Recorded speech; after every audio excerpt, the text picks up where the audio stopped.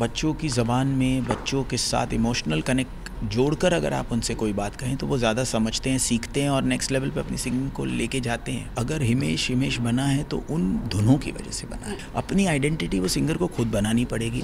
में जब भी आप कोई शो को जज करते हैं बहुत सारी चीज़ें आपके दिमाग में आती होगी तो इस शो को जज करने के लिए आपने क्यों सोचा? ऐसी क्या ऐसी क्वालिटी आपको इस शो में मुझे एक ग्रेट टैलेंट इस शो में मिला और मुझे लगा कि इसमें जो अब तक ग्रेट शोज़ मैंने जज किए हैं ग्रेट टैलेंट को कुछ प्लेटफॉर्म दिया है, वो ग्रेट सिंगर्स भी बने हैं। वो सारी करने के बाद ग्रेटेस्ट टैलेंट हमारे इंडिया में से कहाँ से मिल सकता है, जो ये कैप्टन ले आए हैं ढूंढ के। और आप ट्रेलर देखिए, उसी से आपको अंदाज़ा हो जाएगा कि इतना ग्रेट टैलेंट ऑडिशन राउंड में मिलना बहुत मुश्किल था जो मिला and that is why I'm there अच्छा हिमेश जब भी बच्चों की बात आती है बहुत सोच समझ के उनसे बात करना पड़ता है उन्हें चीज़ें समझानी हम्म। पड़ती है अगर उनको आउट भी कर रहे हैं तो उन्हें हम्म। बहुत अच्छे समझाना पड़ता है हम्म। वो कितना ज़्यादा प्रेशर आप पे होता है मुझे लग रहा है कि बहुत ज़्यादा प्रेशर होता है बट मेरा पॉइंट ऑफ़ व्यू बहुत ही बच्चों के साथ सारे गामा से देख लेकर ये शो सारे शोज़ में देखा होगा अपने वॉइस में कि मैं ओवरऑल बहुत बच्चा ही बन जाता हूँ उनके साथ और वो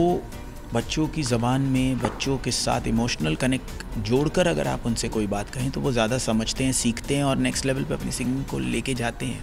वो बहुत स्मार्ट है। अच्छा इतना लंबा दौर आपने जज में भी आपने बिताया है। कभी किसी को एज अ हिमेश आपने किसी और को अपने उनके अंदर ऐसे आपने देखा है? मैंने बहुत सारे लोगों को देखा है लेकिन कहीं ना कहीं मुझे पर्सनली जो एक एडवाइस लोगों को मैं देना चाहता हूँ या कोशिश ये करता हूँ कि they need to come up with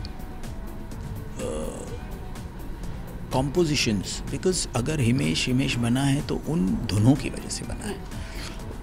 Himesh the singer भी हिमेश द कंपोज़र की वजह से बना है। और आज क्योंकि पाँच हज़ार सिंगर्स हैं और 200 ही फ़िल्में हैं तो सिर्फ़ बॉलीवुड पे डिपेंडेंट नहीं होना चाहिए। और अपनी गानों को ऑडियंस तक पहुँचाने के लिए सिंगल्स तो करनी चाहिए, लेकिन वो सिंगल्स उतने ग्रेट होने चाहिए। तो कहीं ना कहीं एक सिंगर को अब घर बैठे शायद वो कंपोज़र ना मिले वो धुन ना मिले इसलिए वो कंपोज़र की तलाश में या वो कॉम्पोजिशन की तलाश में उसे जाना पड़ेगा और नहीं बने तो खुद बनाना पड़ेगा। आता नहीं है तो भी बनाना पड़ेगा। अच्छा मेरा अगला सवाल इसी पे हिमेश। पहले के जो सिंगर थे जब भी उनकी आवाज़ सुनी जाती थी अब गाने से पहचान लेंगे कि चलो हम्म। हिमेश गा रहे अलका याग्निक गा रही चाहे जो भी गा रहे हैं। पर अब अगर मैं दौर की बात करूँ हम्म। किसी को नहीं समझ में आता कौन से सिंगर है चाहे रिमिक्स पे हम्म। तो क्या कहना चाहेंगे ऐसी चीज़ों के लिए? क्योंकि आपने बहुत लंबा बदलाव दिया। मुझे लगता है कि उसके लिए ही वो आइडेंटिटी उनको बॉलीवुड पे डिपेंडेंट छोड़ना पड़ेगा। कि अगर आपने मेरा आशिक बनाया, आपने मेरे वीडियो नहीं देखा होता या आपका सुरूर नहीं देखा होता तो आप कैसे पहचानते? आज किशोरदा को जो जो दौर था, उनकी आवाज़ इतनी ग्रेट थी साथ साथ वो एक एक्टर भी थे। तो कहीं ना कहीं visual presence of a singer जो अब्रॉड में होता है कभी भी माइकल जैक्सन टॉम क्रूज के लिए कहाँ गाता है कि वो प्लेबैक सिंगिंग करता है? वो इंडिया में ही एक है कि वो पचास साल से प्लेबैक सिंगिंग करते हैं ग्रेट गाना भी गाते हैं। आपके फ़ोन में आप बीस बार सुन रहे हैं, अभी मैं आपको पूछूँगा, ये सिंगर कौन है? आपको पता नहीं है। वो नहीं होना चाहिए।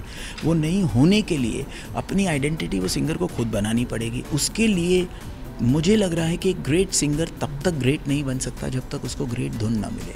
मैं बार बार सिंगर की ग्रेटेस्ट आवाज़ को एक खराब गाना नहीं बना सकेगा। वो खराब गाना ना मिले और अच्छा गाना मिले वो पहले कम कम सिंगर्स थे प्लेटफॉर्म में हम्म। तो उनको वो गाना घर पे मिल जाता था कहीं ना कहीं वो रीच थी। आज एक ग्रेटेस्ट सिंगर को भी वो गाना ढूंढना पड़ेगा। यही डिफरेंस है तो वो सिंगर जो अपने घर में ग्रेट है वो जेन्यूनली ग्रेट है।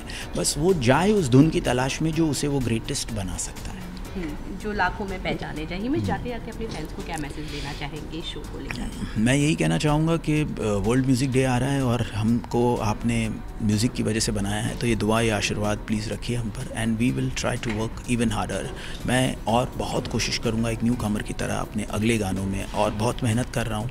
तो अभी मेरी आने वाली फ़िल्म जो अनाउंस होने जा रही है जो शूट हो चुकी है उसका म्यूज़िक दो तीन महीने में बाहर आ जाएगा पिक्चर भी आ जाएगी उसको बहुत प्यार दीजिए। मैंने मेहनत की है so I hope you like it I will not name the name of the film I will not tell you anything about the film but it is going be announce soon and love this show which is coming on twenty nine June super star singer you love the show thank you thank you so much